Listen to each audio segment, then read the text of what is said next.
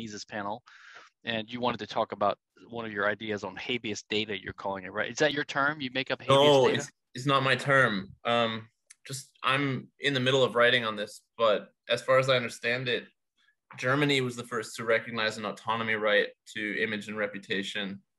Um, their constitutional court or their court of last resort. Um, I, okay. I suppose several decades ago. Then the EU kind of caught on with its privacy directive, but then is this, is this related to the uh, is this related to the right to be forgotten and all this stuff?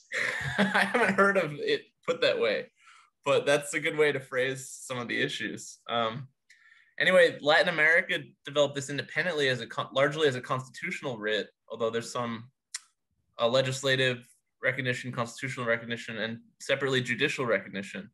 I think the Philippines for forced disappearances has the strongest um, independent right, I think judicially recognized, um, where habeas data includes this sort of uh, right to go after specific public officials um, and you know recover your reputation or your image or something like that. Um, well, let's talk about it in a second, but let, let me kind of lay some uh, some uh, basic things. Uh, so we were talking, and I said something like, "I don't quite understand what you mean by habeas data. If it's your version of it or what's going on in the world." But um, so I, said, I think it, it's the oh, OAS. And, I'm sorry. Hold sorry. on a second before we get there. Uh, so I was just going to say, I said something like, "Even if it's a fake right, I'm in favor of it." I didn't mean to disparage it. What I meant was, like in political theory and in our view of government, um, like even in American, say, Lockean, Jeffersonian American political theory, there's yeah. this idea of civil liberties or civil rights versus natural rights. And um, the natural rights are the ones that exist before government, right, or outside government, like the right not to be murdered, something like that. Yeah, yeah. But then there are civil rights, like that don't exist absent some kind of a society-wide agreement, like the right to vote, for example. Yeah, yeah. Um, and it doesn't mean that we disparage those, but they're not the same as natural rights because they can't exist without society or without a government. Uh, and then then there's more prophylactic type rights, which you you call them rights, like say the right to be presumed innocent is not really a right because if you're actually guilty of a crime, you do deserve to be punished. But we have to attribute a right to you to be presumed guilty. Be you, what would you innocent. call that prophylactic? Call that procedural, Pro- right? prophylactic means sort of like you know a condo it's preventative so it's sort of like okay. um it's not yeah. a real right but it's a right that we have to have we have to insist that the government pretend like it's a right uh to in a sense to limit the government um, yeah yeah okay yeah so it's not a natural right or not even a real right but when you start and then this ties into the american uh, debate over like uh plenary powers and the Bill of Rights is limits on the government, the federal government's powers, versus the Tenth Amendment sort of look where it's it's a government of enumerated powers. So the way so the way I look at it, and the way I think the more original founders looked at it was the Bill of Rights is pretty much superfluous and, and like redundant and really irrelevant. It like the whole way that the rights were protected from federal violation was to just enumerate and limit the powers of the federal government. So they never had yeah, the power, they never had the power to violate rights in ways A, B, and C. So you really don't need to enumerate the rights. So the rights view is like you view the government's power as plenary or complete, like the states, like most states have, like the US states have. So you have to limit what they can do with rights. But the federal government is unique in that it only has enumerated powers. But anyway, the point I'll is there. I'll, well, go ahead. Yeah. You go. I, am just going to say that the, the, the, I'm just going to say that the way we view rights is things that the government shouldn't invade. But one way to stop the government from doing that is you could list the rights or you could just limit the powers of the government.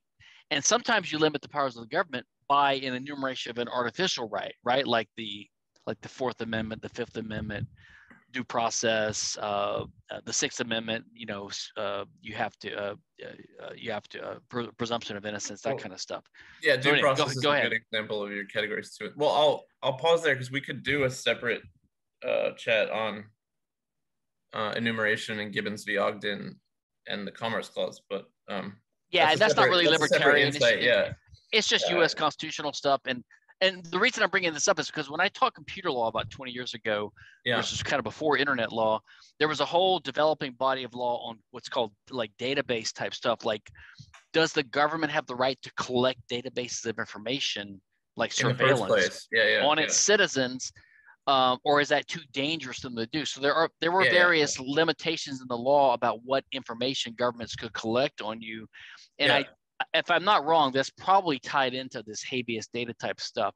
Now, Yeah, yeah, I would yeah. say there's there's no natural right for someone not to have data on you, but when it's in government's hands, we can limit what government does as a precautionary measure to keep them from violating rights, right? Yeah, or from, abu- I- from abusing this position they have. I think whether there's a right, a private right for someone not to have data on you is it kind of begs the question. Um, because you know, under certain conceptions, you could have a private right to recover a record or a pattern of information that is about your person or or very central to your autonomy in a way. Well, Um, especially especially if the uh, someone like say committed a, a trespass, like say let's say someone yes, broke into, yeah, they, they broke into Yeah. your house and they stole private information. that exactly happened to me. They they broke into my study and cloned my laptop. These guys who were helping me with Airbnb, and they um, they uh, distributed patterns of my personal laptop information to the car accident insurer, uh, to my landlords with whom I had lawful contracts to do what I was doing, and then I think also to universities. Um, you know, kind of in mixed with mixed truth and and false accusations and. Well, um, and so people often say because I don't believe in IP because I don't think information is ownable. They say, well, Yeah.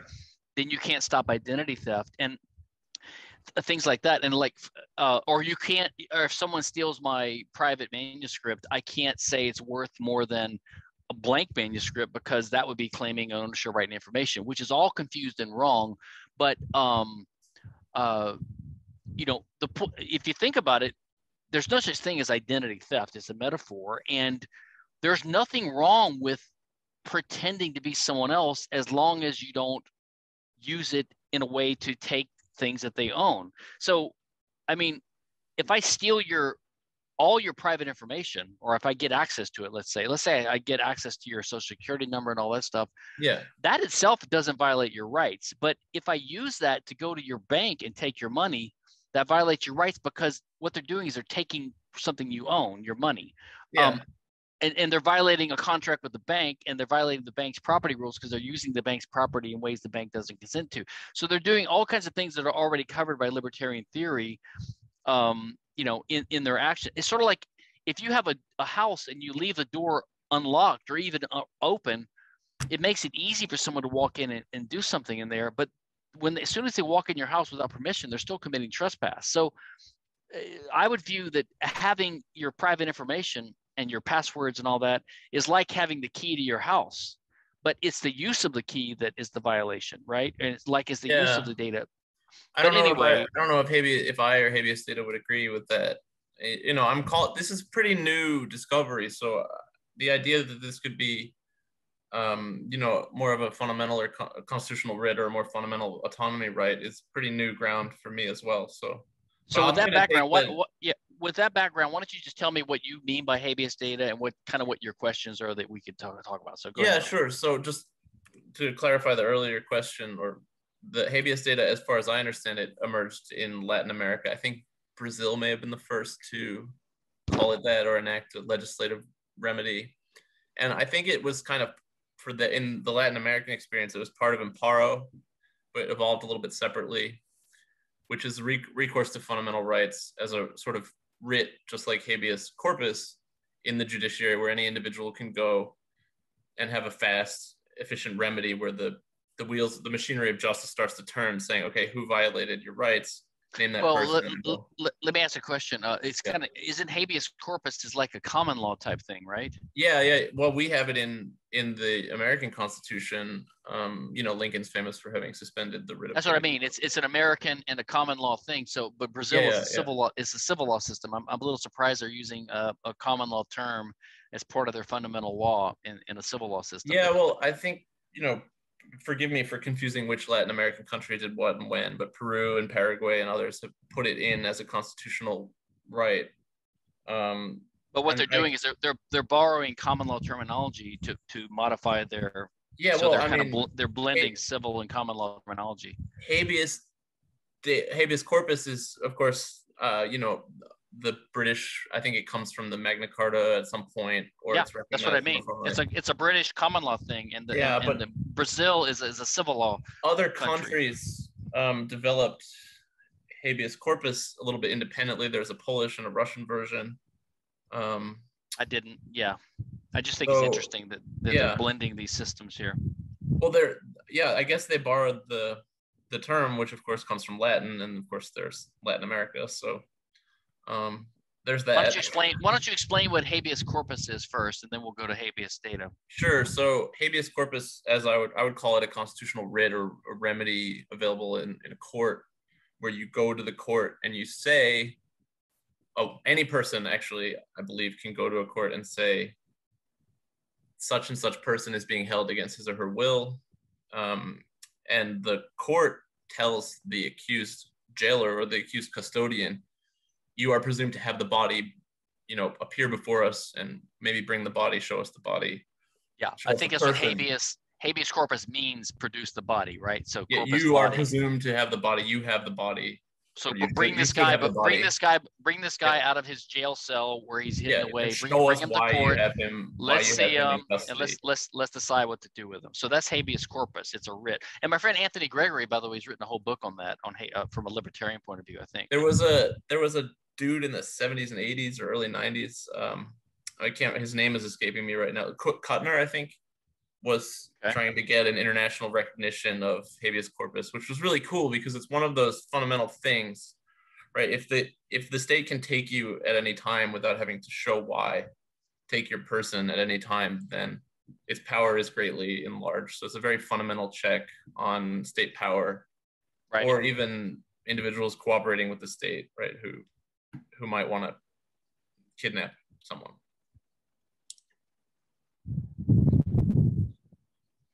So I think that what they did, I for, I don't know what it's called exactly, but when you appropriate, uh,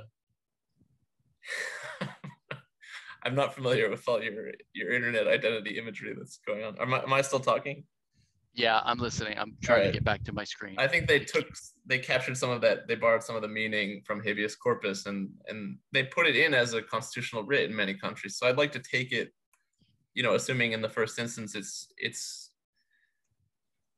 in that regard that the first the first question in habeas data is do you have my my information my data? Um, to the state official who's uh, jailing it you know has it in custody with or without your permission i suppose because you kind Does of it apply this, only to uh, state actors or to private actors too? we'll take it in its narrowest sense and say it applies only to state actors public officials or public registries manual or or automated so Okay, in the narrowest possible way this registry or this official has my my information or information about me. And you know by invoking habeas data you're saying that in some respect it's without your consent. Why don't you give an example?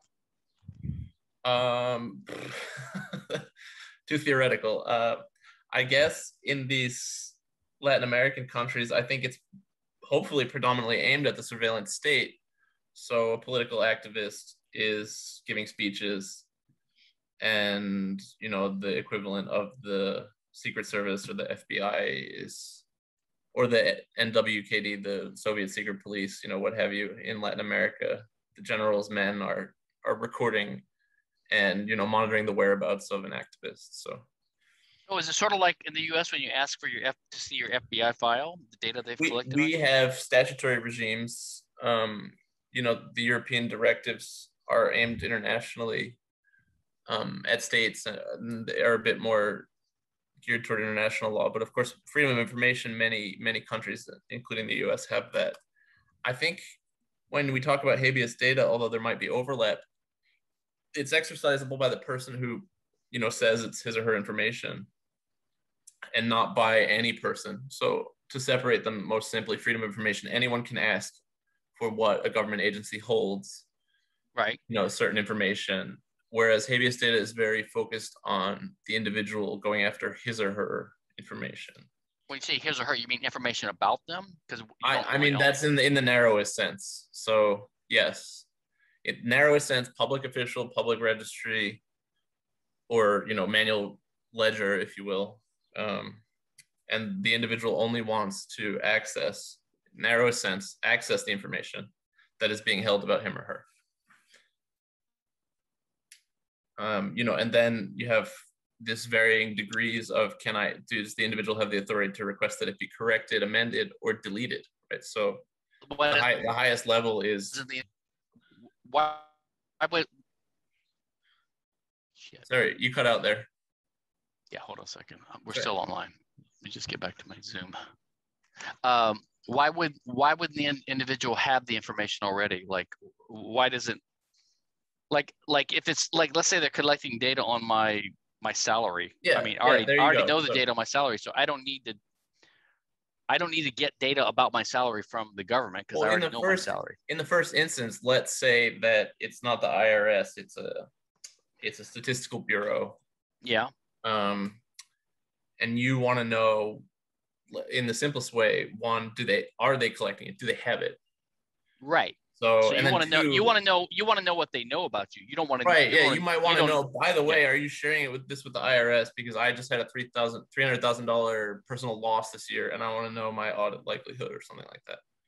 Okay. You know, I, I don't know. Um, you might want to know one, is it accurate, and two, you know, what are they doing with it? So, in the narrowest sense, you would just be able to confirm do they have it, right? You have the data, show it to me. Give me back my own information. Or you what don't do you know. It, wait, what do you mean give it back? Do you mean they have to expunge it or they just give you a copy of it? I'm just saying access is the narrowest way. So yeah, they have to give you a copy, right? Or some record or some affirmation of what they have and what it and, and, to be clear, so you're researching this for uh, for a dissertation or something or what? Human rights, just a paper for human rights law, but I'm okay. litigating in Australia. So I um you know, of course, I made the connection. Victoria has a Charter of Human Rights and Responsibilities, and in their state law, they incorporate um, predominantly the ICCPR, which has a right to privacy, reputation, honor, and um, privacy in the home. So, in my example, someone breaks into your study, clones your laptop. Uh, how you exercise a remedy against a public official who's in receipt of this information um, is interesting where the state domestic law incorporates the international charter and the OAS thinks that the ICCPR principle of privacy protects and incorporates habeas data. So at least the Organization of American States and their principles and opinions about habeas data, they think that it's embedded and contained within the right of privacy, which is they think a right of international law. So I'm trying to invoke it in a foreign state's domestic law, well, at the same time, I have to write a paper about it. So, or I, I propose to write a paper about it. What, so what's your what's your really question here, like for, for a libertarian or point of view? For, for you, for me, yeah, yeah. So I think our the conception, the burgeoning conception, if you will, my conception or the new the new school, if you want to call it that. I think that there's room to say that information about me or my private information some some set of that is part of my body part of my soul part of my person i see um, and i think there's room to assert a different kind of uh, claim uh, an autonomy style claim over that information. And i think that that's it's not tangible but it is right. scarce you know you can't have it without having the individual uh, the information can't exist without me existing. And um, there's some room to say it's part of my person and i want it i want it back i want it corrected or i want it deleted. And whether you can assert that against a private actor is much more interesting but for now ah, uh, you know that's that's a polite that's a polite way to put it.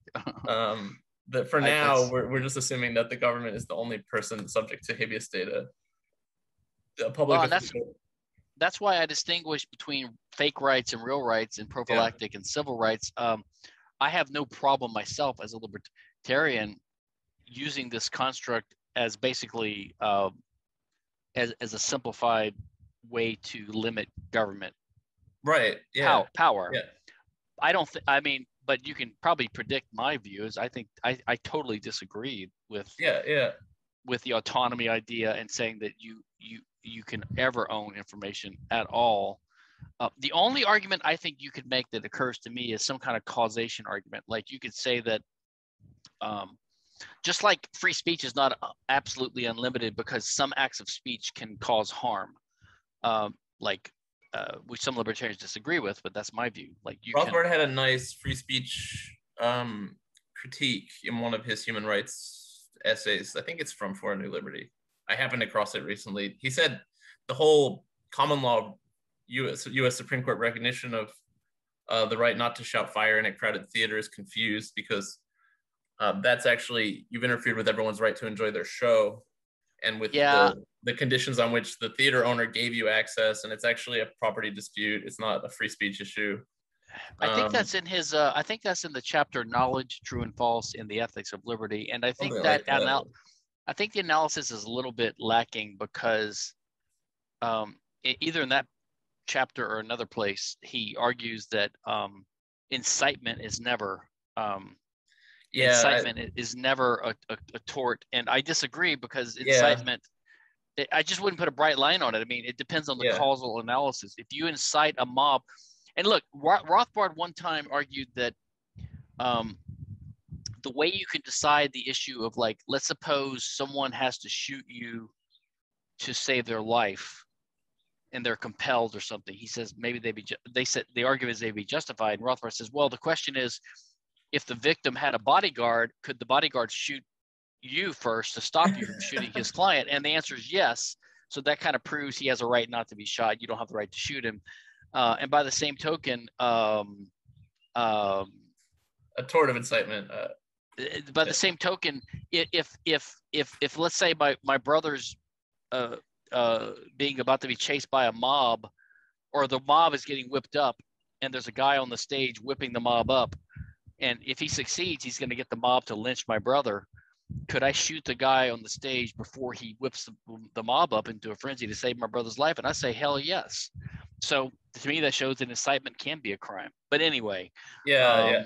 So I mean, you were saying you disagree with an autonomy um, data right or well, so, right? So what I was well, what I was going to say is, if someone has enough information about you, again, like I said earlier, identity theft it's, itself it's is not a crime. It's the key. It's, it's not the, the, trespass. It's the use of it. So if someone yeah. uses data, but on the other hand, like let's let's take doxing.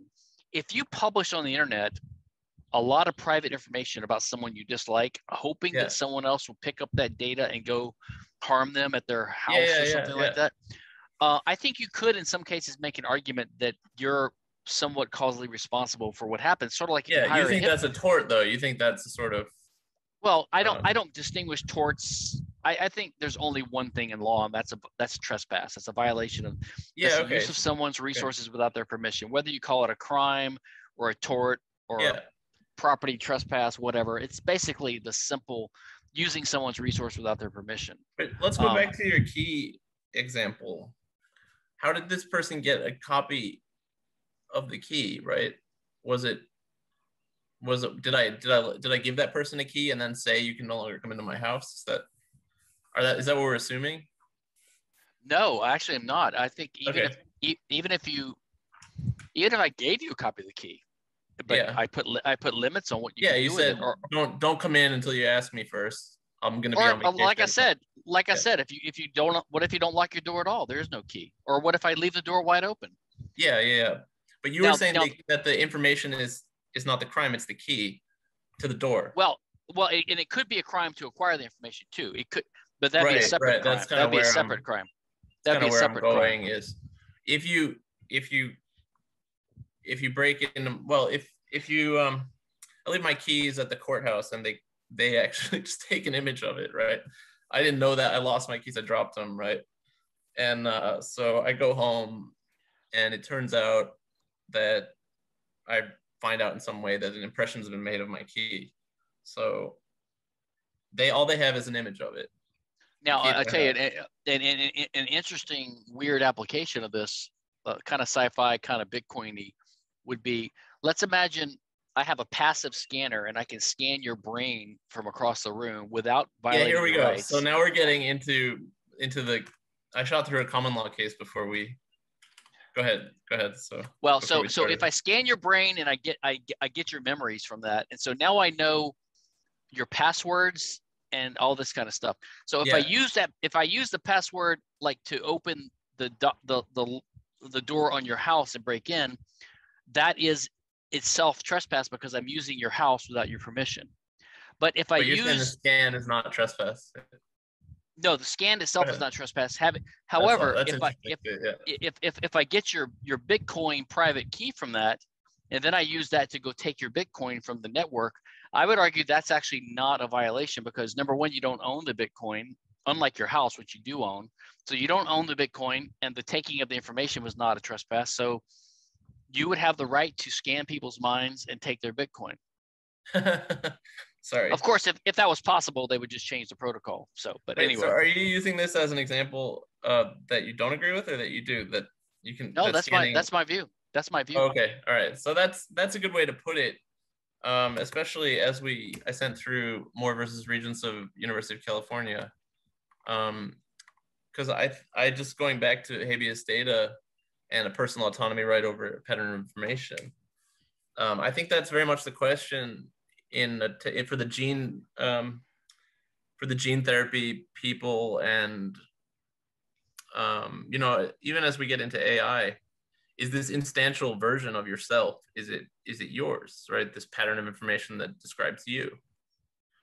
Uh, so you know this is one of the cases that you come across in ip and constitutional law over whether an individual can exercise a claim over um, a treatment derived from his cells and i think well, and, go tha- and back- that's that's more complicated. I, I mean, I would say you don't own yourself in the first place. You only own your body.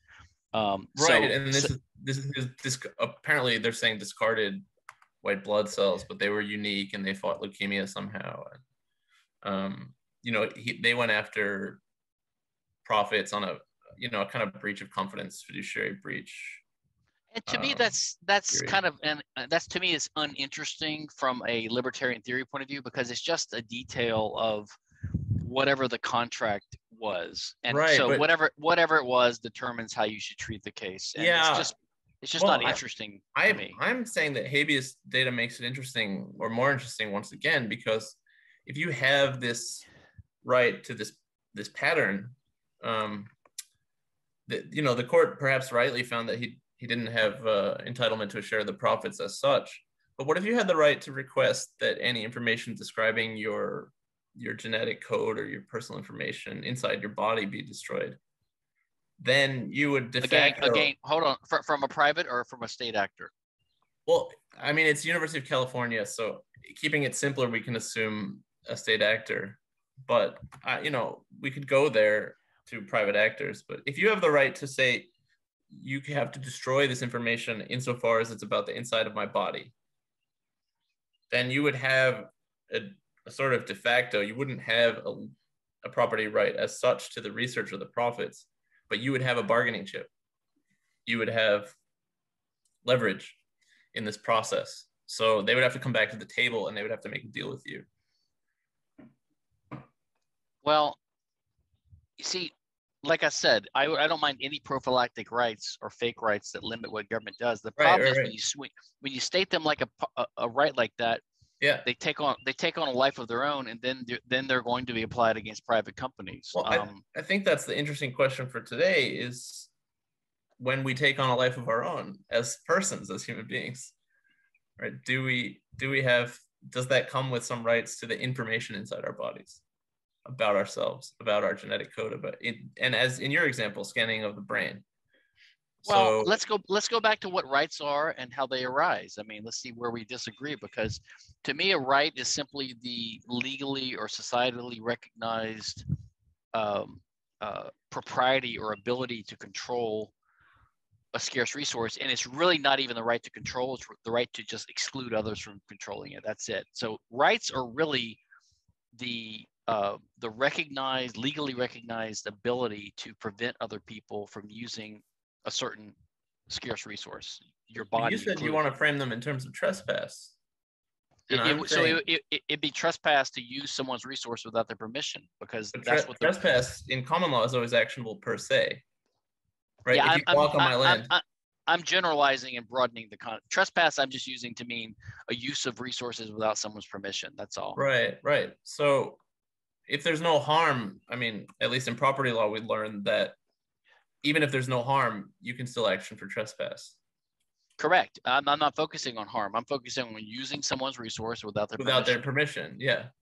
So if the inside of your brain has a, a pattern of information, we would agree that the pattern of information is infinitely reproducible and that it's difficult to assert ownership of a of a series of numbers as such, Mhm. Right? Because it's it's not scarce. There's no rivalry of benefits to information that's infinitely reproducible per se. So, so tres, so trespass. I look at trespass as so. For example, when I'm moving around right now, I'm affect. I- I have gravitational waves that are going in, in electromagnetic waves because they, Yeah. they go forever. They're going through your body right now. Or if or if I broadcast a radio signal for a, uh, th- that is perturbing the electrons in your body, but it's not doing it in a way that interferes with your use of your body. Um, so it's not trespass because it's it's a use of your body, but it's not one that interferes with your use of it, right? And because your right is the right to prevent you from anyway. So, but Yeah. if if but that's where the law of nuisance comes in. Like, so uh, if I if I have if I shoot a laser beam at you, that's also electromagnetic energy, but that actually does harm and damage the integrity of your body Yeah, or, or your eyes. pre- yeah. which prevents you from using it as you see fit. So that is a trespass. But uh, but a passive. So I think a passive. Now this is sci-fi. Passive think brain it's impo- scan. Yeah, it's fine. Passive brain scan. I think it's I think it's impossible actually. But uh, but uh, if if I can scan the inside, well, let's take something like let's say we we do develop something with X-ray vision, and so now I can see what women look like naked. Okay, now- Superman. society, you know, the the, four, the 14 year old fantasy, right? When Yeah. you read Superman, Yeah. uh, are you violating someone's rights by looking at them naked? Can't laugh too To hard. me, to, to me, it's no different than if someone is naked in their house and they leave their window shades open. So they're making it technically, physically possible for someone to observe information. And if they want to stop it, they have to take means to stop that. They have to draw the shades. And in a People who live society in where, glass houses shouldn't throw stones, sort of thing. I guess, I So, mean, that's using um, the, misusing the metaphor, but that's okay. I just Uh, don't see that you own data. I mean, I don't know what you mean. I mean, your ownership of you own your body. I believe in the Hoppian kind of view. We you have a Right. you have a, pro- a Yeah. property right in your body because you have a better a better connection to your body because you directly control it. So that's the that's the root argument for self ownership. And then the ownership right in other resources is because of the connection between your body or your person and those things by by demonstrated by first use, original appropriation, or either Yeah. or or contract from someone else. So those are like the three principles of libertarianism. Is like you own your Yeah, body yeah. because you, you have the best connection, and you own other things if you were the first to use it or you got it from an owner by contract. That's it. That's all of libertarianism basically.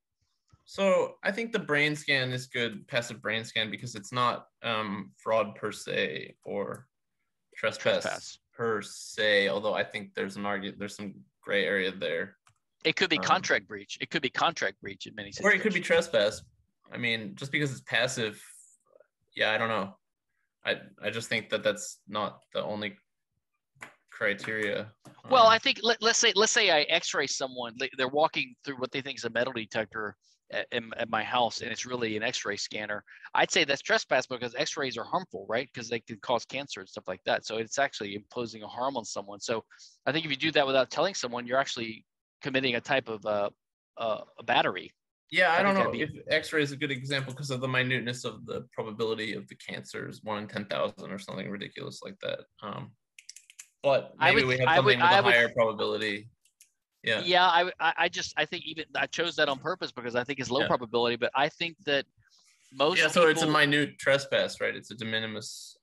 Mm, well, I think it's the, the measure of the damages may be small, but I think that It's Uh, a trespass. most yeah. most people would agree that before you X-ray someone, you need their consent. And Yeah. you don't Okay. Yeah. consent, Yeah. you know, anyway, So you think the brain scan, a passive brain scan, um, our imaginary passive brain scan has no harm, and the X-ray Well, has minute harm. well, the reason the reason I brought it up is I can't imagine a brain scan that actually works that doesn't do at least as much harm as the X-ray does. So I think actually it's hard to imagine a really passive brain scan. Okay, Musk's satellites for cell phone for Wi-Fi across the globe, uh, SpaceX satellites, they can, whether or not there's a public-private partnership, they can they can scan our brains without harm. You know, they can create a top-down 3D map. Well, a better example would be the AI you mentioned. If we have AI, uh, we're again imagining something that I think is almost impossible, but theoretically an ai could just observe what you do and, and it could it could come up with some kind of map of how your brain works and it could generate a model of your brain and predict what you know so I, I read a blurb and this is taking this too far but that memory is the reason ai is not working right now for innovative for in, human innovation to capture sort of novelty or our, our way of solving problems is because we have a very spatial way that we access memory and i didn't fully understand the the article, but it's an, an analogous to to a GPS system or something like that. Three three coordinates. Well, I, am um, skeptical. I'm skeptical of AI ever working. It might. I think if it works, we have to grow it. We can't design it. But anyway. Um, well, let's assume for a moment that they crack the, you know, they crack scanning every single neuron in your brain and, you know, being able to replicate you. I mean, that's, you know, I just scanned you by virtue of this Zoom call, and I can clone you and have this conversation with you in my room without you. Well, I think even if you right. can scan someone doesn't mean you can duplicate them. That's a whole different technology too. But um But you're saying the uh, scan's not trespass. So Well, well what I'm what I'm imagining is I'm saying assume we have an AI which is almost a godlike intelligence. Theoretically that AI could could know your memories from a passive observation of you. Like you could just look at what you do. Right. yeah. Okay. Use mathematical. Okay. That wouldn't be trespass. To, yeah. Okay. No, it wouldn't be trespass at no, all. I, I, I, think I agree with that. Okay. So you've you've captured something that's personal information about you that you're freely kind of giving out, and that's not trespass. So I, I think we'd agree there or, or God. You just take God. God presumably knows everything, so God knows what the contents of your memory is. God, God's been kind enough not to create multiple versions of, of us that we know of. There may be infinite Earths out there. Uh, well, we might have a cause of action in a parallel universe, right? We just have to find a way to assert the claim. No, because because God's our owner. He's God's our owner, so he has a, he has a, he has a He's meta normative. yeah, God is our owner, so uh, we're basically so we're basically slaves. Defense for God. Okay. So well, the state the is the, that's but if the state idea, is maintaining right? a second version of us in a parallel universe, then we have a cause of action for that. Well, the law, the Lockean idea is that God owns everything, and he. So basically, this whole libertarian sphere we're living in is just a playground or a game set up by God. He lets us pretend like we have freedom with respect to each other inside of His rules, but really we're all slaves to God. All right. So I think we've canvassed the um, whether completely or not. We've canvassed the natural law um, aspects pretty we've, we've canvassed them at least. So i thought as well that the utilitarian um, approach is just it wouldn't be clear from a from a first approach whether habeas data you know varying degrees of habeas data would be uh, utilitarian optimal or not um, in a society if you will in an, even in an anarchic society against public or private actors. Um, but I I think that the the easier way is to look at it as a stopgap measure that's arisen because of rights violations, and so as you call it, a civil or prophylactic remedy. I mean, I think that's as it exists now. So I think that that's easy to embrace. Uh, but well, I mean, if you just take take the whatever the rights are, like in the U.S., to to ask for uh, the FIJA or what? Uh, not FIJA. The, It's okay. Yeah, the, the FOIA, yeah. FOIA, FOIA, Freedom yeah, of. Information Act stuff. FOI, Even if others, uh, even if others can do it, I, I assume there's some kind of right to get to know what your FBI file is or something like that. I don't I don't think that we have that in the US because they're gonna claim a law enforcement exemption. I know I know people request it from time to time, and like libert, like I've heard stories that libertarians they request their FBI file and then there's nothing there and they get disappointed that they're not viewed as a threat. they're, they're not a threat to the state. Uh, don't, don't they know I'm don't they know I'm dangerous, man? I'm a threat to them. That's that's funny. Um, uh, yeah, so but, let's assume that that um, U.S. law has a a police exemption, law enforcement exemption, and I th- I think that begs the question, because in the Latin countries right now, as it's evolving, you would have that right against the FBI because um, your your right to access your personal information comes from a different perspective. Well, again, I, I so so I guess I would favor any laws like that. I just think the basis of it is because the state is inherently criminal, and anything we can do to limit their power is good. And that's, that's it. Easy, it's not. That's the easy way to agree, right? So the, the harder not, way. It's is, not. It's not really because you have a right to your information about you because it's part of your autonomy and body. And if you put it that way, the danger is that will become a private right used against private corporations um, or private individuals. That's not um, automatically a bad, though. We have to sort of decide that that's, you know, the slippery slope. You know, we have to sort of agree that that's well, utilitarian bad. I guess, I guess, I guess we could argue about whether it's bad or good on net and all that. But to me, I'm interested in the truth. And do do our rights really extend to information? And I, I just say no. Um, now, let me just mention one other thing. That's uh, the, one thing I've tried to do in recent years is you have to be really precise with all these terms because yeah, people, I mean we'd have to hammer. And so, well, I just mean like so the word property. I try when I'm being precise to say, like if I own a car, I don't say the car is my property. I'd say that uh, I have a property right in the car, so I own the car. But to call the right so the word property is really just the type of a relationship between you and an object with respect to other people. Um, but we over time in casual yeah. use, we say the car is property. And the, the reason I think we do that is because, well, the original word started used because it's the word uh, uh, proprietary. Like it, shadow tr- or chose chosen action, thing in action, a bundle of rights. Well, I think what I mean the word is, chose exists, but it's a it's a bit abstract or archaic. No, but what I'm trying to get at is I think that the reason that we use the word property as a noun to refer to the thing that you have a property right in is because when we when we act as humans in the world we employ scarce resources or means to extend our reach into the world right so over yeah, time over time these means or tools that we gather about us become an extension of ourselves. They become a property of ourselves or a characteristic or a feature of ourselves. So if I have a if I have a knife or a, a, or a, or or or my clothes, those are all resources that we own, but they become so bound up with our identity that we call them a property of ourselves. And then we start saying, "Well, that's my property." But we also say private property to distinguish I know. from. Go ahead. Go ahead.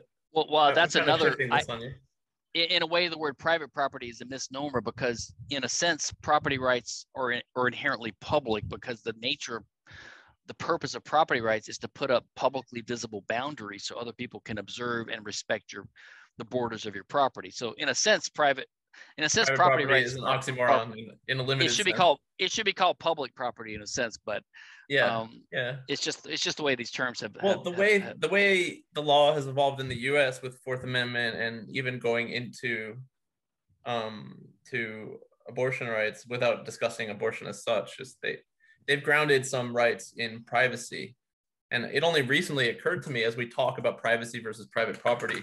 I thought we were talking about different things you know, those are different strands of law. A privacy right grounded in the Fourth Amendment or some penumbras and shadows of the Constitution. It's different, right? They're not talking about a, a property right or or private or private property in the sense that we mean.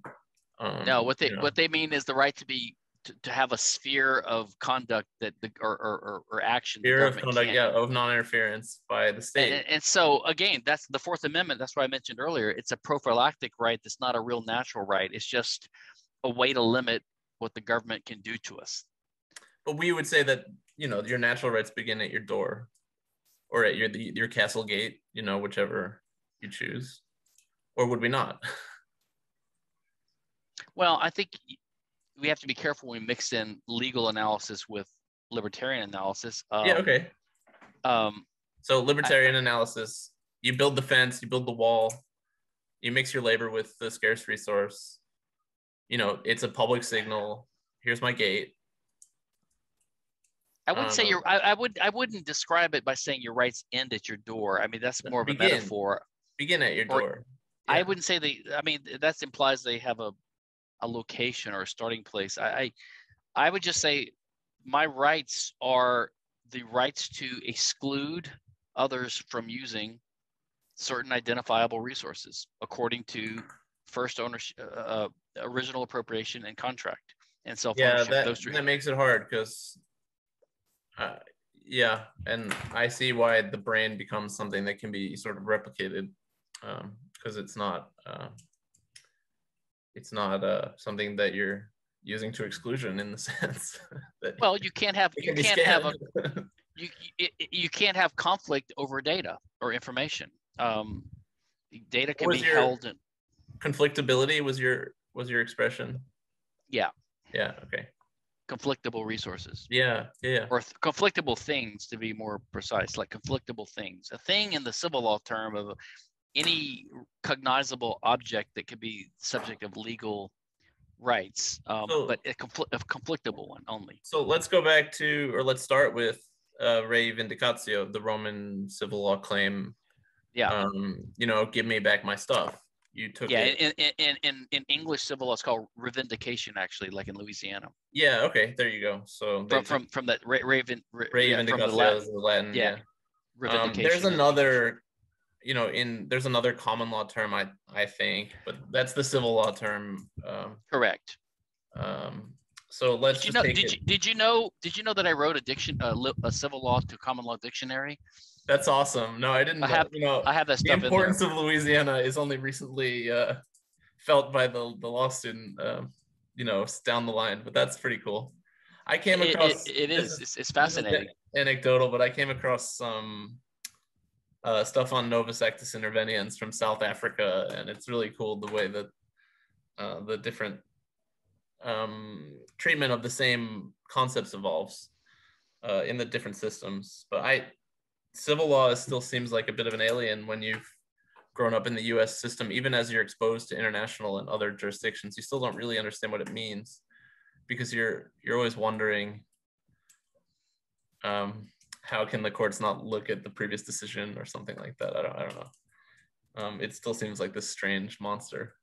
You know, Hoppe Hoppe had some interesting comments where um, he sort of inadvertently, I won't say took my side, but like because I've written in, in in favor of the civil law or the Roman law in some ways. Like I think the common law superior in some ways, but the civil law is better in so many ways. Um, This idea where and- the court knows the law, I forget the Latin, curiat nostra, no- nostra, you know, your, your curiat, I don't remember the exact Latin, but Uh, I don't. I'm not. I can't remember that. I know that there's something called judicial notice in most legal systems where the court can take judicial notice. Yeah. Of of, Well, of obvious or obvious facts the- like I think the civil law notion is that when parties are not arguing adversarially, then the court applies the law. The court is the repository of knowledge. They don't need the adversarial argument. And I think that's really uh, shallow in the common law systems is that the court generally would limit itself to the what the parties argue. And if the parties are unsophisticated or poor, then the argument's not very rich. Um, because they can't hire expensive lawyers or they're not, you know, they're not legal dictionaries themselves, right? yeah, I can't remember that one, but uh, I'll find you the Latin. It's very simple. Curiat use nostre or something like that. My my Okay. declension is not as good as it used to be. but the but the court applies the law. Um, but you know, going back to Rei Vindicatio, Yeah, um, although I think we should do a separate quick one if you will have time or if we'll be interested on uh, commerce clause and uh, limited powers because Barnett uh, missed the I think he missed part of the his commerce clause analysis on his paper that's already 30 years Well, old. I- I've been persuaded by Sheldon Richman. Um, I've been persuaded by Sheldon Richman that the the um, the interstate commerce clause and other clauses in the Constitution were actually way broader than we would like would like them to be. Yeah. Um, yeah. Um, although I don't like to admit it because I think that in court I would argue for a narrow construction. Uh, but right, because we want, but we don't want to rely on just originalism. That's the well, that's the I. I, it's not just that. It's, it's I mean, Yeah. I think John has. I'm, I'm increasingly persuaded that the Constitution was evil and centralizing, and it's not the protection of rights which stupid libertarians think it is. It's just, it was, I mean, the word constitution means to constitute, to make up. The whole purpose was Right, to create right. a new, a Create new central government. Yeah, yeah, It, yeah. it- the purpose wasn't to protect rights. It was to, it was to create a new powerful government. Yeah, and no, they only throw- thought of the Bill of Rights. Uh, it was an afterthought, right? They had to throw, they had to throw rights in there just, just to Oh sell shit, it. we Just, passed this thing. Okay, maybe we should have some rights. Yeah, just to make it palatable. Uh, Oh, and so, and I'm also persuaded by John Hasnas, his Myth of the Rule of Law paper, that that a lot of the stuff. Now, his his argument goes mainly to legislation and statutory law. Like it's like it's not as objective as we like to pretend it is, and I think that's correct because statutory law, and in that I would include the Constitution because it's kind of a statute. Um, it's just Kind not of law. natural. It's not natural developed law it's just it's just the decree of a, a committee of bureaucrats and it doesn't have an objective meaning all the time and it's usually a result of compromise and it's intentionally vague so there is no objective way to interpret it in many many cases um, although i would still push for the judges to interpret it in a, in a liberty direction as much as they what could we just want. We want a bounded activism, right? I always thought as well originalism is a proxy, um, correct proxy position, right? What we want is a, a constrained activism that prefers, um, you know, activist readings in, at certain key areas. Well, right, right. Like I, I, I've argued one of my papers that oh, the, the Constitution only has instrumental value. Like we're only in favor of constitutionalism to the extent that it produces liberty. Yeah, but that's yeah, yeah. because yeah. that's because the, the the government defining the the government limiting aspects of the Constitution, including the enumerated what power want, yeah, structure yeah. and the Bill of Rights, those things. Um, uh, I, I, I would say proxy, right? You would say instrument, instrumental value. Well, what I mean is, what I mean is, if we had a Soviet constitution or something horrible, we wouldn't want it to be interpreted literally because that would be. all. Yeah. It's sort of like the argument, like if you have a government agency, do you want it to be efficient or not? And if it's building the roads, yes, but if it's enforcing the drug war, you want that to be inefficient. So Yeah, you yeah, don't, yeah, you don't. So it depends upon the purpose Yeah. uh, yeah. uh, at hand. All right, so I'm still putting that aside and saying rei vindicatio versus um, a revindication versus access for data, uh, you know, trespass and data breach.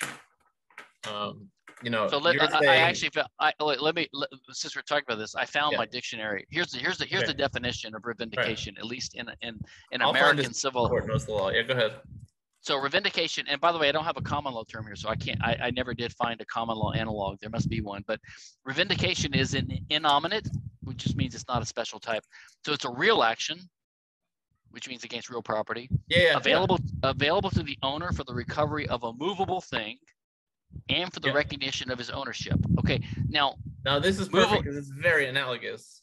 movable would include uh, in the civil law movable would include uh, uh, intellectual property because they're they're movable because they're not immovable but they're they're uh, they're um, they're incorporeal or intangible they're incorporeal um, but yeah so an innominate real action so if if the law would classify information as a type of as a type of real thing which it does when it recognizes intellectual property, then you could have a revindication available.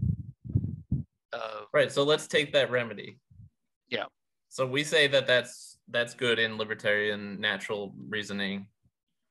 Right. It's sort of like specific performance in a contract.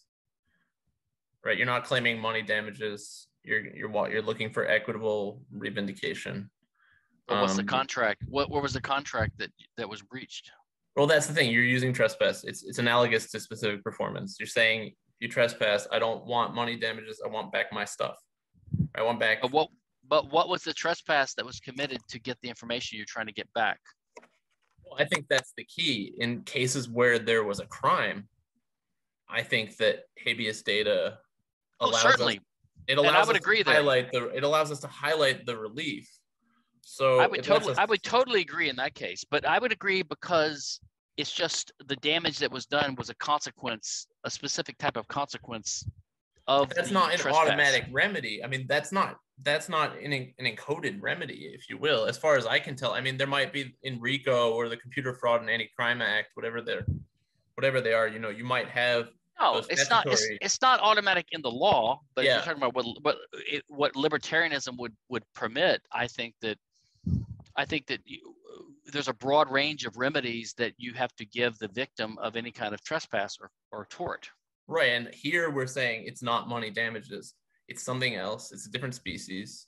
Absolutely. I, yeah. I, I mean, in my in my long paper on rights on the estoppel thing, I argue that um, uh, the victim should should be able to choose among as many options as he can he or his attorneys can imagine. Which oh, that's awesome. um, but, because that's the way to that's the way to minimize yeah. harm done to him because he can never undo the crime. So pure yeah, restitution yeah, is impossible. So you want to minimize other, the harm and the, the, other the minimization of the harm. Go ahead. The other concept in fraud is restitutio ad integram. Right. Which Make is uh, restoration to the yeah restoration. Oh, that's without the n but that's impossible. So restitution, true restitution is impossible. Yeah, equity desires as much as possible to restore the victim. And, and, and, and, the Austrian insight into subjective value means that whatever the victim prefers is the best way to make him as whole as possible. So, like I give the example in the case of a, a real crime, like um, I mean, a, a, a, violent crime like assault or rape or murder. Um, uh, the victim might prefer to punish the the aggressor or he might prefer to enslave him or he might prefer to forgive him or he might prefer to get money from the guy. Like whichever yeah, yeah. of those whichever of those remedies he prefers yeah the cause the one the right lies with the victim the right the right should, to, exactly exactly. right he should have the right to, to get whatever he wants within bounds of proportionality. Yeah okay. So mm, jumping around hopefully not too much. So if the state collecting information is always trespass or a crime then we have yeah. we have habeas data on you know we have agreement to habeas data on a different sort of principle that the state is always you know their only means is to expropriate and steal. So any time they constitute an agency and it collects information you know it's actionable. But you know well there's there's another argument you could use. You could say that so the state is what we call a standing threat to our liberty. Sure okay. It's always a threat and therefore you have abuse. the right to know what you have the right to know what they know about you simply to minimize simply yeah. simply to minimize the threat yeah i think that's the the more operative way in the, these latin american uh, countries and the, the evolution of habeas data in that way because because from the from the from the anarchist perspective so you take the legal principle a fortiori, a fortiori ration right which is like the, the the greater includes the lesser so, if from the anarchist point of view, we have the right to abolish the state because it's a standing threat and it's an actual yeah yeah yeah yeah it's an actual aggressor. So, if you have the right to abolish the state, yeah yeah, okay. then you have the right to demand that they at least turn over the data they have that they're going to use to persecute you. Okay. It's yeah. it's a lesser it's a lesser remedy than abolishing the state and you have the so you have the right to kill the state so you have the right to do something less right i guess we're taking the I, hopefully the narrower example where there's been some trespass in order to get data. Well, that makes the well again the, the government's always committing trespass by its right. So I'm yeah I don't know some something that would meet the private standard of trespass.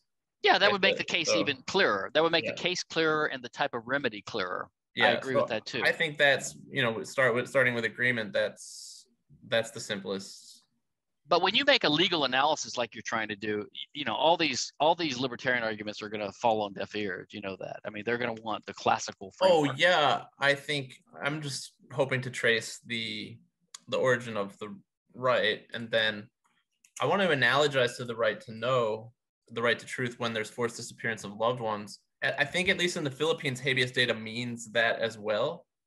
So i have this cool example where it encompasses both um, you know, your right to access your personal information and your right to know where your uncle is.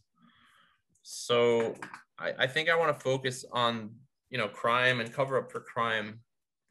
And um, those examples that I gave you in the email were uh, misprision of felony, where you know someone committed a felony and you're having you're getting some benefit and you're not you're not spilling the beans. And um, I think there was another one. I mean, they use perversion of justice overseas, but that's maybe not the best example for present purposes. So I mean, to take There- to take a more, a more prosaic example that's a little bit unrelated. I mean, imagine someone um, has kidnapped your daughter and they've got her hidden away Yeah, yeah. somewhere. Yeah. I think in that case, even if even if even if you they had kidnapped her and you recovered her, and then the punishment you could inflict on the guy is limited by bounds of proportionality. Like let's say you could you could do something to him, but you couldn't murder him or Yeah. kill him. But if if if she's if she's still missing, I think you have the right to do anything to the guy to torture him to force him to reveal the Yeah. information he has about where she is because it's an Yeah. ongoing crime. I we came. It's a lot of asides, but we came across torture, you know, freedom from torture and human rights, and I said, well, what about, you know, we didn't really analyze the private right for retribution, um, and I just said it's a, it's categorically different as well. I don't know if that means that we should permit it in all cases, but No, not all, but I mean, yeah. it shows. Well, it's sort of like mean- you know, people people say that slavery is illegal, but the Thirteenth Amendment didn't abolish slavery. It just it just it, it Not- said you, especially you not for law students. no, it said that slavery is still permissible for as punishment for For uh, a crime, yeah, for crime, Yeah, yeah, and the right, government yeah. and, and the government can make whatever they want to be a crime. So basically, slavery is still. I mean, what if the government? What if the government said, well, they can't say it's a crime to be black because that would theoretically violate the, the yeah. I mean, the- they the- can make a lot. of Fourteenth things crime. Amendment. Yeah, But they could they could make. I mean, they already have. We have slavery because we've outlawed drugs, and people go to jail for violating that. Or if you don't. well, if you don't yeah, show up yeah. the- if, you- if you don't if you don't if you don't show up for the, for your draft duty, you know. um, draft the draft is a great is a great one for 13th amendment um because they they dodged that in um i think it was o'brien united states versus o'brien um they dodged the question of the draft being a peacetime draft being constitutional but you have the 13th amendment you know in more recent history so you a draft post 13th amendment hasn't been looked at Well, and what about taxation? You can go to prison for not paying taxes too. So I mean, yeah We yeah have- the we have- to the have- 13th amendment right yeah and by the way, people in prison have to work for for pennies on the dollar. So we have we have Is that in all cases? I- It Yeah, just I mean, happened. I'm just saying it yeah, happens. it happens. Yeah, of course. Yeah, you have different. and so we we yeah. criticize China for having slave labor, but we have slave labor here. In fact, we have more prisoners, I think, in the U.S. than any other country in the world. It's crazy. Yeah, yeah, yeah. So that was we started there on, uh, um, not on slavery. I don't know how we got there, but maybe we got there through slavery. Yeah, I um, I guess that's oh maybe it was just crime. So Well, it's a it's an Yeah. example about it's an example of how you can basically have flexibility in remedies. And so I was just pointing out in a bad in a bad example, but um, slavery is not really illegal, unfortunately. right, right, yeah. I But mean, but, it- but what I meant was in, in, in a private context, you Yeah, could, private could do things. yeah, to- yeah. So so because you have flexibility in what you can do to an aggressor, you could you could do some kind of re- re- revindication of data which if they if yeah. Yeah okay so we agree that if there's a, a private trespass there might be a private remedy as well and if the public trespass mirrors private trespass then it should be maybe be exist as a remedy. Um i guess i was just focusing on when the state commits what everyone else would recognize as crimes. So when the state commits an otherwise illegal crime uh, according to you know recognized state law uh, that would be the Yeah. coolest area to show how habeas data uh, might offer relief where existing law wouldn't um, And I would I would also say in that case, I would even be I would be in favor of your right not only to make them reveal what they know, but to destroy it. right so deletion is sort of i would say it's the third level i mean unless you also want damages or some other remedy but uh, i would say deletion is that third level of you know one access two correction three deletion it's the higher But then, level but then but then and that and that's what translates that's what translates to the private right to be forgotten where yeah I think I think Yeah. they have that in Europe where like you can tell Google to like remove from their search records some information about you. European uh, privacy directive or something like that. Um, And and I I'll, think, I'll be getting into all this a bit more, but which is kind of like we say that for children who have criminal records as children when they reach a certain age they can have their, yeah, they could have it expunged, something Yeah. like that. Yeah. Um, contract with a minor is revocable within a certain time of the minor reaching the age of consent, right? Something like that, or permanently revocable. Um, yeah, that's that's neat. Um, so I guess that brings us to the, you know, assuming we let's just assume as well, arguendo, we can ask the state to delete it on, let's say, terms the state would recognize would be habeas data. We'd be in favor of that, but then Absolutely. um, the fourth level, of course, is is saying to a private company, you know, no, you can't have that. Um, I think that's where we'd have the, assuming I'm taking the the devil's advocate, the habeas, the strong habeas data position, then yeah, we would disagree. Um, I would say that certain information, you know, if it was within the private sphere, in, even if their trespass was non-invasive and they're not doing anything with it, um, even if their way of accessing it was non-invasive or you didn't notice it and they're not doing anything with it um, that would be the coolest area of disagreement where the millennials following snowden and julian assange um, you know and other experiences would probably say that we want to be able to delete our personally identifiable inform- information from certain private companies that hold records um, you know, maybe Well- not from people we're in privity, you know, normal contract with, normal privity of contract with. I mean, that's a little different, right? You know, if you're ordering Well- from a supplier, then you know, you might want to take a look at. Uh, did you read Jeff Deist fairly recent article or speech? Um, I think it was an article on Mises about a month ago. It was about Clarence Thomas and one of his decision, one of his arguments about, uh, oh, free speech or something like that. And uh, what Clarence Thomas gets wrong about big tech. Exactly. And There so. Deist is sort of arguing a little contrary to say me and Rothbard and Walter Block that we should have a very legalistic notion of these things and like like de- defamation law is totally illegitimate. He's arguing that well in today's age with cancel culture you could be harmed so much by a big tech company relying upon a false rumor about you, you know, or your employer could fire you if, if someone just calls you a pedophile or something like that. Maybe we should let the common law courts take that into account and develop a type of defamation type action, which I Yeah, disagree with, by the defamation way. is a defamation is um like, oh, you don't I mean, that's a good example. So you don't think defamation should be actionable per se. No, then that's I think that's black letter libertarian from Rothbard and Block. Um, no, defamation should be should be um, is not a crime uh, because Okay. All right. So that's a good one. Um, so what about these sort of common law crimes like conspiracy against rights in the U.S. or um, tortious interference with a contract? well, so tortious uh, conspiracy is a different thing. I think collective action, like I said earlier, I think the Well, there's Uh, there's economic conspiracy and criminal conspiracy. I just want to. well economic uh, that's probably problematic in most cases, but Yeah. um, to, to make that illegal. But Well, um, tortious interference and economic conspiracy. Let's well, say I mean, I, I, all, all antitrust laws should be abolished. So there's nothing wrong with businessmen conspiring to set prices or whatever. I think there's nothing wrong. It- yeah, whatsoever think with it- that. Right. I I But if I I think people that's act, when we talk about defamation and we talk. I'm analogizing to these things because but when people conspire or act collectively, so I'll, I'll tell you the difference I've come up to with. induce breach of contract, so by a third party, right? So well, well, that's a different. uh, When people Yeah. conspire collectively to to violate someone's rights, they're all responsible. contractual rights.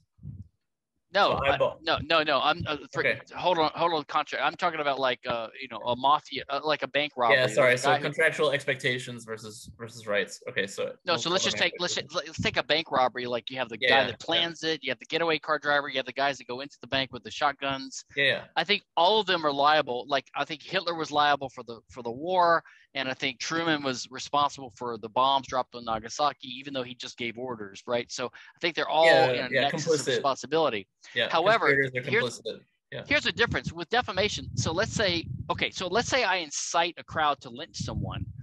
Then I think, unlike Rothbard, I think I'm potentially liable, but it's because I'm playing a causal role in someone's rights being violated. Like the guy being Yeah. lynched, he's he's being murdered. Okay. Yeah, But if I lie about you and I say you're a pedophile and that causes your employer to fire you, then the the, the, the difference here is that the employer has the right to fire you. They're not violating their rights when they fire you. So Per the se. employer has the the Yeah. employer has the right to fire you for any reason. Yeah. Uh, no, I would I would say more than per se But because if you direct that communication to the employer, then you're seeking, you know, you're doing tortious breach. You're, you're seeking. no no no well okay so hold on for a second on that. I'm, Yeah, I'm simply no so so under my understanding of a contract, which is Rothbard's, Yeah. I don't I don't even view contract as a set of binding obligations. So really, there's no such thing as breach of contract. Expectations. Yeah. Set of expectations, right? It'd be Well, better in it's not- contract law. It's not that. It's just that it's impossible to breach a contract because what contract is is just the assignment of title to a, to a resource that you own to someone else. That's all it is. It's a transfer of title. So a contract Okay, could just yeah. be seen as a web of these conditional, future-oriented, interconnected, interrelated transfers of title to resources which people Yeah. own. So Okay. it's got so so for example, on, under law now, if you have a contract to do something and if you don't do it, that's called a breach. But then because specific performance is rare, the remedy is just the payment of money. So Yeah, you could just yeah, look you could just look at it as a contract like I promised to, I promised to perform a service and and you transfer payment to me if I do it. So that's one conditional title transfer. And I transfer some money damages to you if I don't do it.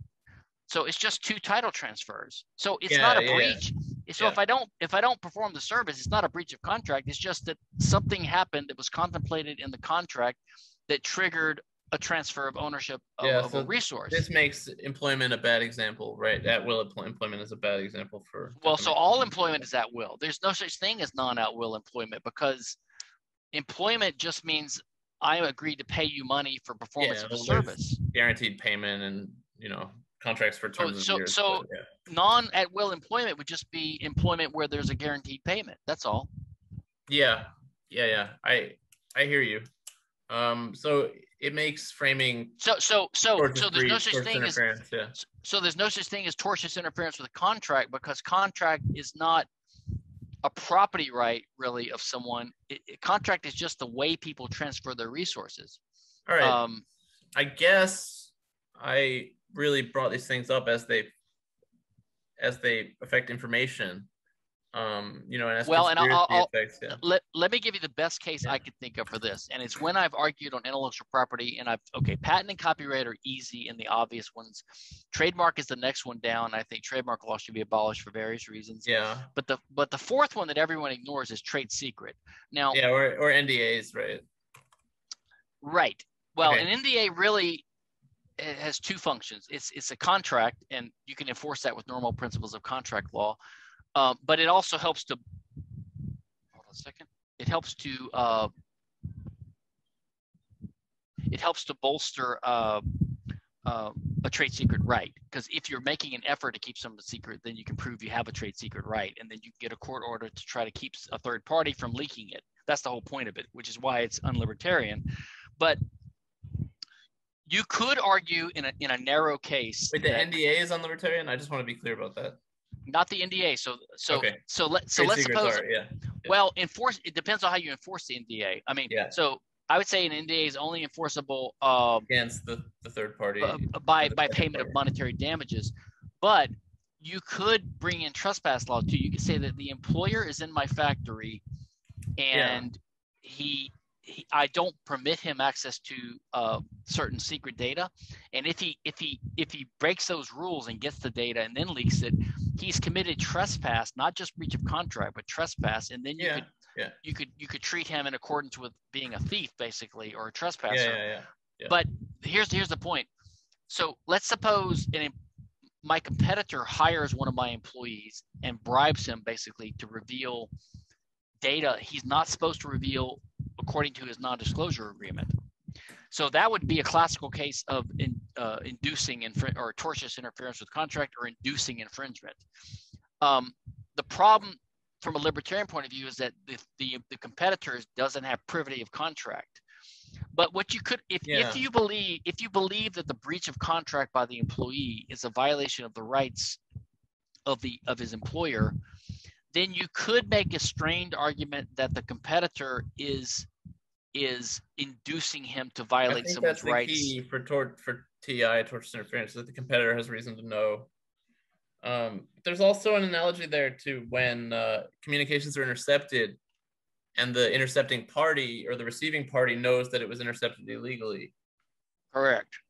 So when Although- you have that, when they know that there had to be a break-in or a trespass or a hack Yeah, or something like the that. the pro- the problem with that is then you could argue like that say um, if there's a copyrighted image or an image that someone leaked that they shouldn't have leaked or, or information a book file or a movie it's on the internet then it would be a backdoor into ip because you could say well third parties can't download this data because they know its source would be tainted right? Well, you could- usually they're trying to go after the person who's you know about to upload the video or about to publish the new the news. no not true not when they enforce copyright law they're trying to right, enforce right. No, I'm I'm talking more in my my way, my sense of private And- data. and- but- in that case, I would I would be in favor of uh, an injunction type action to prevent someone from doing that.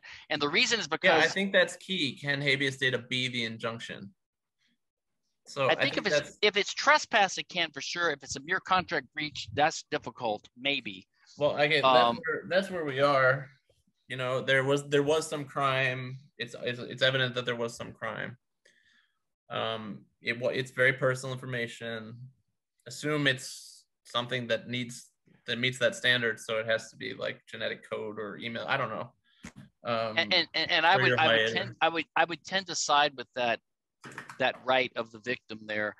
Yeah, Uh, the thing the thing is trade secret law applies to third parties, and that's the difficulty. But if you're talking about the actual the actual yeah. I think we need to separate also this sort of patent, copyright, trademark from, you know, this is just me in my house, right? It's just, you know, it's it's not so much about the information being profitable.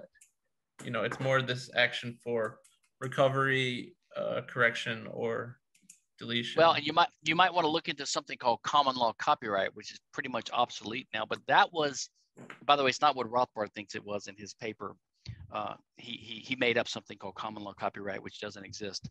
common law copyright was a previous right which evol- ev- evolved on the common law, and unlike statutes like copyright is now. And it said that if you have an unpublished manuscript, like in your home or in your desk drawer, and someone takes it and they're about to go public or publish it, you can stop them from doing that. And to me, that's just you don't need copyright for that. All you need is like trespass. you yeah, you Burglary, just say, yeah. look, Yeah. you committed trespass, and one of my remedies is to prevent you from making the, the damage worse. Yeah. So I think that's that's a good way to frame it is if we if we have habeas data and it allows us to pursue remedies for um, things that we gave away voluntarily, then it's problematic. Correct. Um, or it's uh, a very strong way of viewing autonomy that we've never viewed it before. Well, another another maybe classic case would be, let's suppose you have a priest or a counselor or a doctor or a lawyer, and you confide under a fiduciary relationship yeah you confide information to them, Yeah. and you have a, a relationship with them where there's Yeah. a contract, co- basically That's- contractually. fiduciary Not supposed breach to of reveal it. fiduciary breach of confidence yeah So again, the question is, if they breach that, well, if they Yeah. breach it, you could always sue them for money damages. That's for sure. right but, But we're putting that to one side yeah could you use force to stop them from doing it? Um, that's a hairier question. I think it's highly fact specific and nuanced. yeah well But- fiduciary always is right so Well, but from Yeah. a libertarian point of view, the question is, is the concept of fiduciary responsibility. well the psychiatric exception is they think you're about to go harm someone else right so if you're about to go breach someone else's rights then usually But again, you know, it doesn't hold up that's- right? That's positive law, and I, I think Yeah. most of that's roughly compatible with libertarian. yeah i think so too you know you're about to go breach you're about to go kill someone so guess what your rights end Correct. yeah totally agree. So I think that's pretty in agreement with fiduciary stand, more or less. Um, you know, with taxes, there's some ambiguity there because if your CPA is spilling your tax secrets, I would say the, if there's the if they're doing libertarian that, wheel turns back around. I would say the CPA is now in cahoots with the. Yeah, yeah, cahoots yeah, with, so he's conspiring with the this- IRS. He's this par- exception, right? For, He, for the he's part of the state. Yeah, he's part of the state now. but um you know going back to that our the the interesting area or maybe the novel area is where no one did anything explicitly criminal but they have this information about you um and this to stretch it the farthest it's a private party and you want to pursue an action with no privity of contract and no crime having been committed um and no breach of contract, then you're in uh, sort of the the least libertarian area, as you would put it. Um, would say so. unless we change our conception in some radical way to include this certain information being part of your, you know, persona, your body, your Right. your autonomy, and therefore your self ownership somehow includes certain information, especially that's found inside you, because then we have a physical metaphor that we can look at. So the coolest. by the way, case- yeah, I, I think I think your argument probably would fly with a lot of mainstream legal perspectives. I, I think I've seen arguments like this. Um, um, well, I think it's new school privacy, right?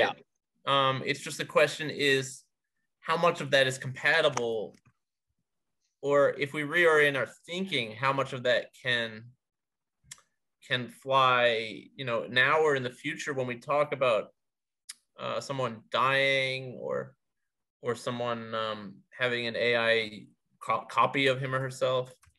Um, you know, how much of that is libertarian or unlibertarian? Um, may, maybe we can wait. We, maybe we, we can wait for uh, libertarian philosophers in the in the year 20, 2300 to figure this out when it becomes yeah, we, we could, but you know, in this in this going backwards example of Moore versus UOM, I think that my case for today versus UOC, sorry, Regents of University of California. My case for today is that if the if obtaining one's internal organs, one's genetic code, what what have you, is vitiated through fraud or a breach of a fiduciary relationship, if we put the doctor as um, a pure fiduciary in his role with a patient and he takes the patient's private cells and he develops a treatment for them. If I had a remedy against the information itself to insist on the deletion of the information and its derivatives, um, then I wouldn't need a claim for money damages. Correct. And the the- the risk there would be that that argument would then be used to say no one else can use that data too because you own the data. So that'd be the it'd be like an IP. You'd have this that- weird, yeah, it'd be analogous to an IP right, but where the information was obtained through trespass or fraud. Yeah, but Um, if you if you restrict it to the person who did it, I wouldn't have too much of a heartburn about right, it. but once But you're if- if- getting to fifth yeah. parties receiving treatment who are then Mhm. being cured, I Yeah. I think that you know it's just a it's at least a different way to look at Moore versus UOC, University of California. Yeah. Um, if he had this habeas right to his own Yeah. cells. Um, Um, Sebastian, I got. I got to go in a second. Me too. yeah, Um, I, I thought this was a good way to close, but um, Okay.